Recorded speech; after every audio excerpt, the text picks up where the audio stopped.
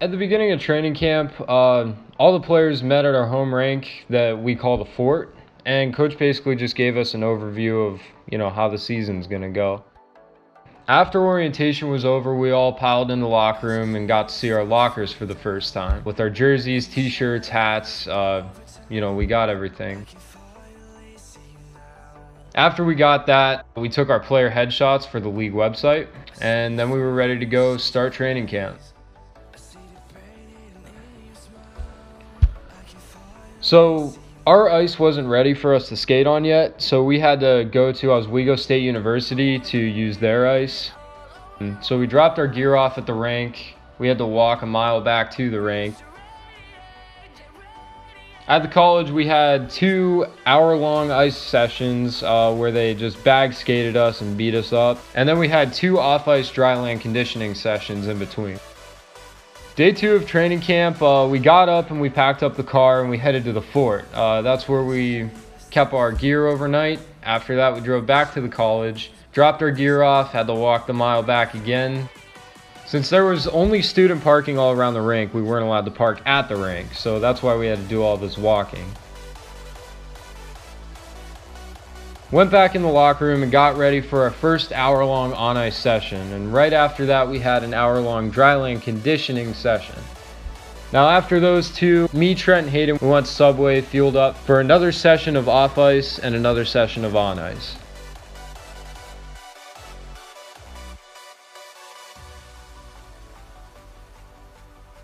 Now, day three of camp didn't exactly go as planned. So, what happened was we were all supposed to go back to the college and skate there. But since we were all using it between our team and the college team, we ended up tearing up the ice really bad, and the ice rink's compressors actually ended up going out and blew out. So, the ice wasn't ready for us to play, and the ice at the fort wasn't ready to play. So, on day three, we were only able to have two hour long dry land sessions.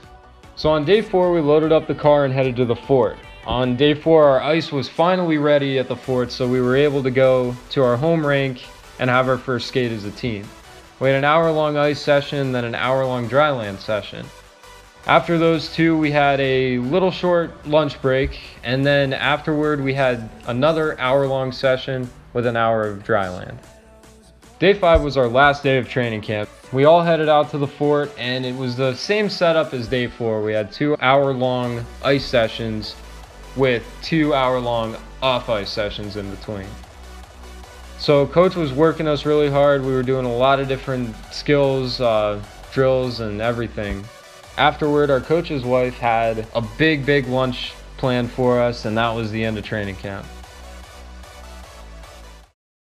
Alright guys, so that was the training camp video. It was a little bit tough for me to get footage of everything that we were doing. Obviously because I was doing those things. Uh, like the dry land, it was kind of hard to, you know, take my phone out and record some stuff while I was doing that. And uh, obviously on ice, I wasn't able to record anything because I was um, participating in, in training camp. So training camp went really well. Um, it was it was a grind. It was really really tough. Uh, they absolutely beat the shit out of us the whole entire week, and um, we had, like you saw in the video, two ice sessions where we were pretty much bagged every single every single uh, ice session. And when you're bagged, if you don't know, that's you're constantly skating. They just pound you into shape basically, and uh, everything off ice. We did a lot of stretching off ice, and then um, along with that, we did some you know sprints, some core work, some planks, a lot of planks, push-ups, uh,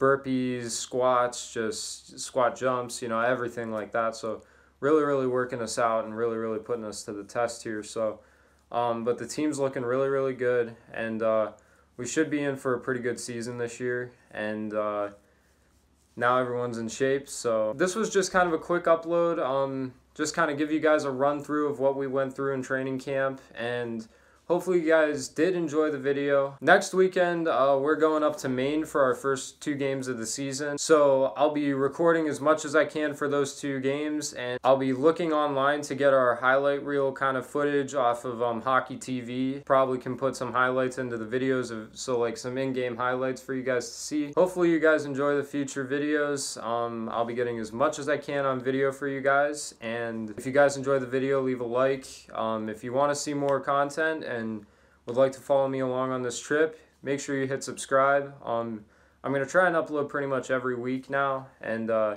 during the season, and hopefully you guys can get those videos. If you guys want to subscribe, you can click right in the middle of this screen, and uh, two videos will pop up in the corner for you to click on. And yeah, guys, thanks for watching. Uh, this has been Danny Mikol.